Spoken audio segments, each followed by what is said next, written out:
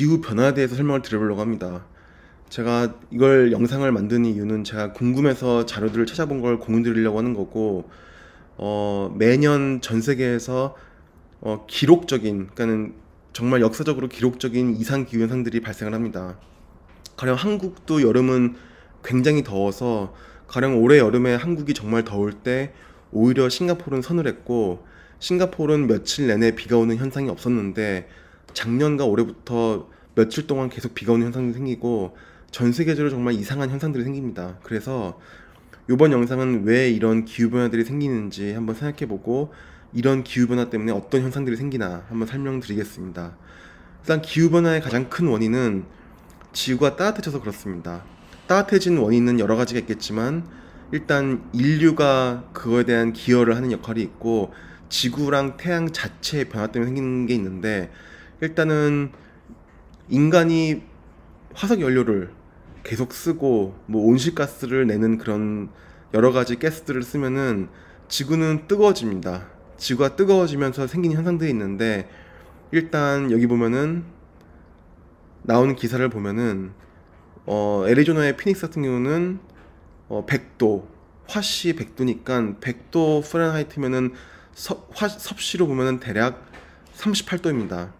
그리고 어 보면 예를 들어서 캘리포니아의 데스밸리 같은 경우는 130화씨 그러니까 이거는 54도입니다. 이런 식으로 미국에도 그렇고 엄청난 폭염이 생기고 있습니다.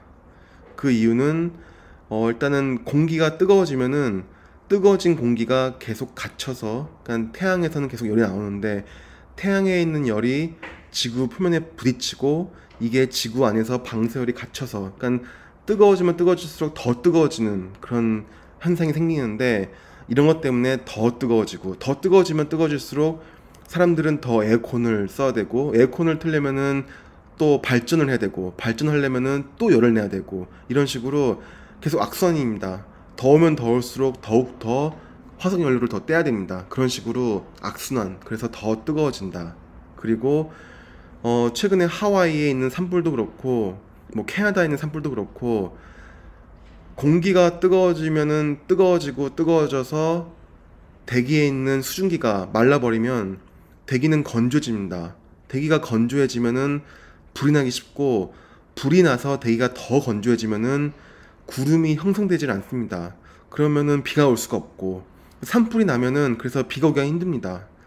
그러니까는 수증기가 위로 올라가서 구름이 형성돼 가지고 구름에서 비가 와야 되는데 대기가 바짝 건조해지면은 산불 때문에 그러면은 더욱더 대기는 건조해지고 비는 더욱더 안 옵니다. 그래서 산불은 더욱더 커지고 악화되는 겁니다. 이런 식으로 산불, 대형 산불이 나는 것도 결국은 지구 온난화가 원인이고 또 보면 허리케인 허리케인은 뭔 말일까 싶기도 하지만 지구가 뜨거워지면 뜨거워질수록 여기 보신 것처럼 자 설명을 보겠습니다. 보면은 이렇게 가령 바다 바다에 있는 물이 뜨거워질수록 더욱더 많은 수증기가 바다에서 하늘로 나오는데 그러니까 수증기가 더 많이 많이 생길수록 바다에 있는 물이 뜨거워져서 그러면은 이런 것들이 결국은 어, 허리케인 같은 이런 기상 조건을 야기합니다. 그래서 허리케인 같은 기상 현상도 생기는 것도 결국은 지구 온난화. 그러니까는 그 해양, 그러니까 바다에 있는 온도가 뜨거워져서 해수면이 뜨거워져서 생기는 일인 걸 수도 있고 또 하나는 가뭄. 이건 뭐 당연한 건데 어, 뜨거우면 뜨거울수록 대기에 있는 수증기가 날아가서 건조해지고 건조해지면 건조해질수록 또 구름은 안 생기고 계속해서 건조해지고 그래서 사막화가 계속 진행되는 거 이런 가뭄도 하나의 현상입니다.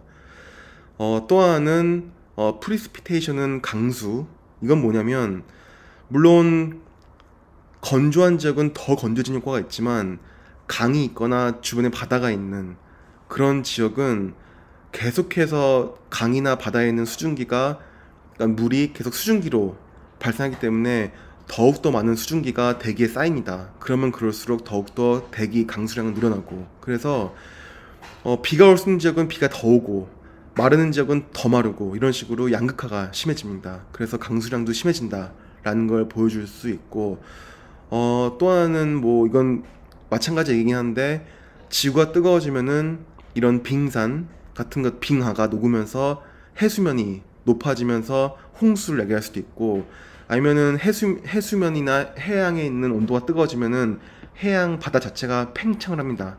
팽창을 하면은 결국은 해수면 올라가기 때문에 그래서 이런 홍수도 날 수 있고 이거는 좀 아이러니할 수도 있는데 global warming 때문에 결국은 winter storm 결국은 추울 땐 더 추워진다가 될 수도 있습니다. 이게 뭔 말이냐면은 어, 예를 들어서 이건 좀 복잡할 수도 있는데 그러니까 해수면이나 그런 강, 그런 바다에 있는 물 같은 것이 뜨거워지면 뜨거워질수록 수증기, water vapor가 수증기가 생기는데 이 수증기가 대기에 갇히 있는 현상이 생길 수 있고 이 수증기가 갇혀서 갇히면 갇힐수록 이게 가령 겨울 쪽으로 후- 예를 들어 8월이나 9월에 생긴 수증기가 11월, 12월에 수증기가 그때까지 계속 가- 대기에 갇혀 있으면은 결국은 수증기가 겨울에 폭발을 해서 폭설을 야기할 수도 있습니다.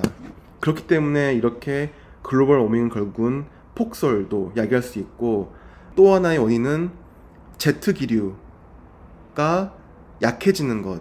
예를 들어서 어, 극지방이 따뜻해지면 따뜻해질수록 제트 기류가 약해진다고 합니다. 그러면은 폴라 볼텍스는 극소용돌이란 뜻인데 결국 이런 식으로 극소용돌이 생겨서 여러 가지 이상한 기후들이 야기될 수 있습니다.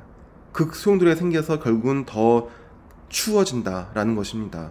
뭐 결국은 극지방이 따뜻해지면은 제트 기류가 약해져서 결국은 극소용돌이가 생겨서 이것 때문에 겨울이 더 추워진다 이런 것도 있을 수 있고 뭐 이런 식으로 결국은 원인은 지구가 따뜻해졌기 때문에 생기는 이런 이상 현상들이 과학적으로 설명이 되는데 이거는 제가 또 궁금한 거는 과연 이게 인간이 화석연료를 떼서 인간의 활동으로 결국은 지구가 이렇게 이상해진 것인가 아니면은 이거는 결국 지구가 100만 년이나 200만 년 만에 생기는 이런 자연적인 흐름인가에 대해서 예- 생각을 해봐야 되는데 어, 일단 지구는 45억 년 전부터 계속 지구의 기후는 변화돼 왔습니다.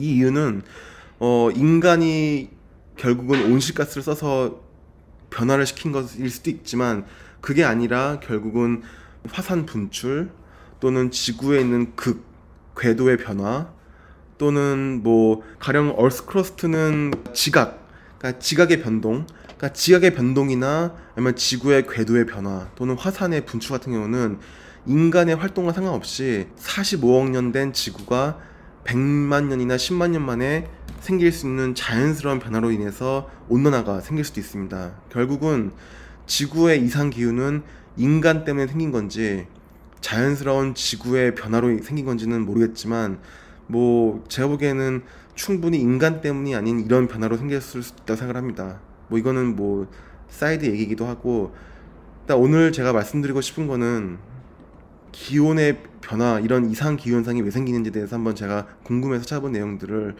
공유 드리려고 설명을 드려봤습니다. 그럼 이번 영상은 이렇게 짧게 마무리 드리겠습니다. 감사합니다.